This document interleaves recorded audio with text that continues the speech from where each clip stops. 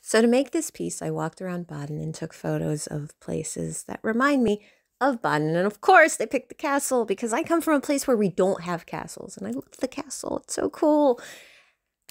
I used my medium of embroidery to bring it to life in a rather different way. Hope you like it. Uh, I couldn't even tell you how many hours it took to make. There were two all nighters because I wanted to get it done in time, and I was just intimidated by the amount of work I decided to put into it. Because you know, you have this great plan in the beginning, and then you're just like, oh no, I do not know if I can continue. I have taken on too much.